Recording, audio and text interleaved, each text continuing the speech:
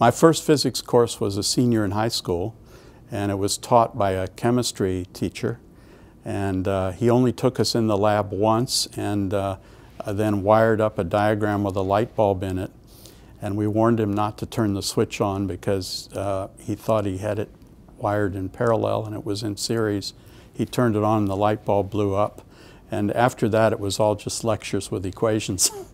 um, so that was, that was a, a fun introduction.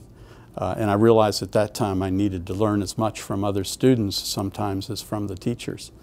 Uh, but then I majored in physics in, in college, a, a small four-year Catholic college uh, in the Cincinnati area, uh, now called Thomas More College. Uh, and when I was a sophomore there, uh, majoring in physics, I got to work on an NSF grant, and I worked on it sophomore, junior, senior year um, and, and really kind of learned what research was in doing that. So that was a side job, but I did get paid for it and could help pay tuition with that. Um, and uh, eventually wrote a paper on studying crystals with um, magnetic fields and uh, learning what the fields were down inside the crystal. So uh, that was that was pretty important to me. And then I went from there to a large university, University of Illinois, and majored there in, in physics and um, eventually worked with, uh, I was the first student of Professor Chang there who was himself had been a student of Julian Schwinger who was a Nobel laureate at Harvard. So I'm kind of the academic grandson of Schwinger. And uh, Dr. Chang helped me learn physics all the way up through quantum field theory. And I did my PhD in quantum field theory studying particle physics. And then uh, finished my PhD and continued to do research in particle, elementary particles, so protons, neutrons, electrons. Those come from the sun also in the solar wind.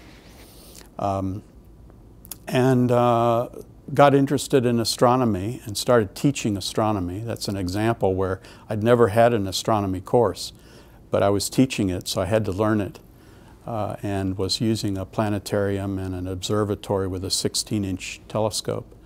Uh, so that was that was uh, great fun and got me very interested in astronomical observations and thinking of the Earth as a planet, just like any other planet, thinking of the whole Earth and not just the region where I lived. Uh, and then um, after doing that, I went to Boulder, Colorado, where I worked at the Center for Atmospheric Research in Boulder uh, and um, started doing climate research. So that was my first publications in climate. And I looked at um, what we were calling ice caps at that time. So the planets have ice caps at the, near the North and South Pole. And what would happen if the sun changed? If the sun cools off a little bit, the ice cap grows. If it brightens up, the ice cap shrinks a bit. And are ice caps stable when the sun is changing? We knew already then the sun wasn't a constant.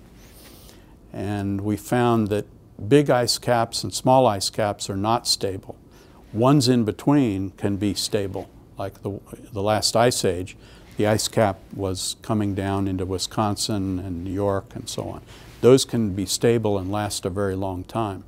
But when you have only a small ice cap, like Greenland, for example, it's not stable. So when it starts to melt, it's likely to keep melting until it's completely gone. So that was a paper in the late 1970s, and I went from uh, Boulder to Goddard at that time, 1979, and I've been here since uh, doing space missions and observations and trying to improve our forecasts of climate.